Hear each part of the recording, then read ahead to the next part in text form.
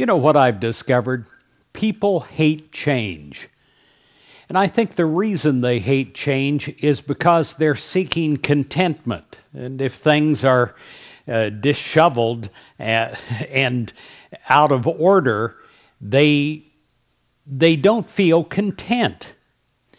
But the secret of contentment in the midst of change is found in having roots in the changeless Christ.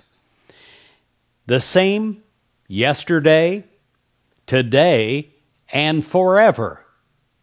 When you plant strong roots in God, then there can be storms and there can be winds blowing, and still you feel contentment. You feel a sense of security, uh, uh, something that is feeding you, roots up into your soul. In Philippians 4, verse 11, it says, I have learned to be content in whatever circumstances I am. This is the key to true contentment, true spirituality to know, because you're planted in God, that nothing can dismay you, that you have something working within you that is greater than that that is in the world. Where can you find contentment?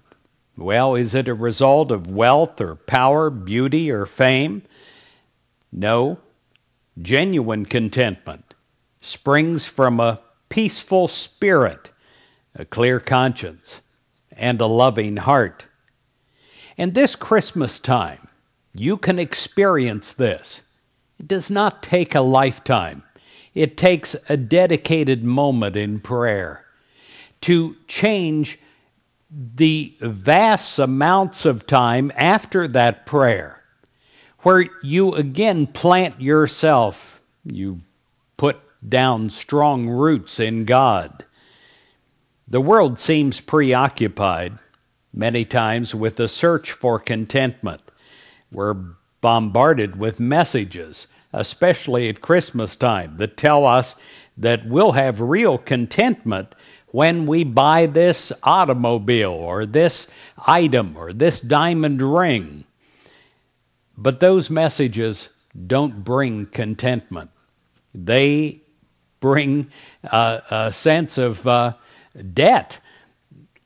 Contentment is not the result of what we own or what we buy, it is a result of our disposition at any given moment. And you and you alone are the only one that can give you this kind of contentment. And you give it to yourself through planting your roots in God.